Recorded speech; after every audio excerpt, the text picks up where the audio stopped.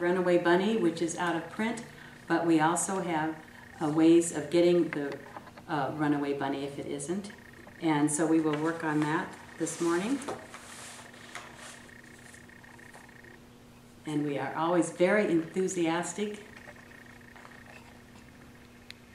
about this book. And we get them interested right away. And you, of course, you want to use your manual. It's manual one for the four year old program. And we follow that. Look at the picture uh, on the cover of this book. Put your finger on the large rabbit. And so we hand the book around like this, let people have a turn pointing to the large rabbit and then the small rabbit.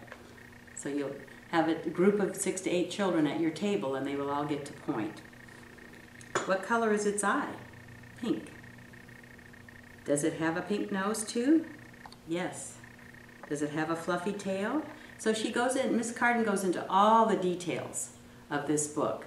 And it's a wonderful story. And each one of the one the, uh, the literature that she chose for the four-year-olds always have a little moral to them. And so we go inside and we get to point some more for the next lesson.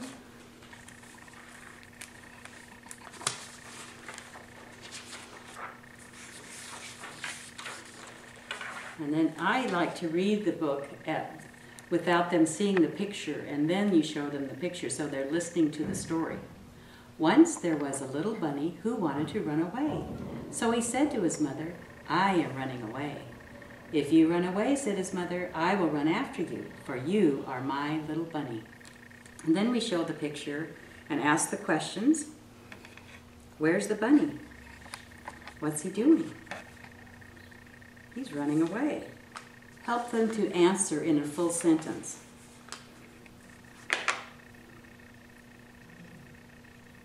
And what is the mother rabbit doing? Why will the mother rabbit catch up to him? And then they answer because he, she has longer legs.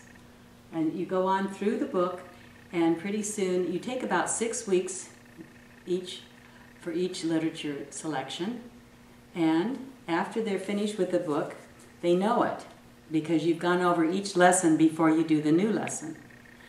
Therefore, at the end, we always have a little acting out of the book, and you choose different people to be the mother bunny, and we uh, have lots of fun with this book. So in about six weeks, if the children come Monday, Wednesday, Friday, three days a week at least, then you review on Tuesday and Thursday, and it takes about six weeks to get through the literature. So that's lots of fun.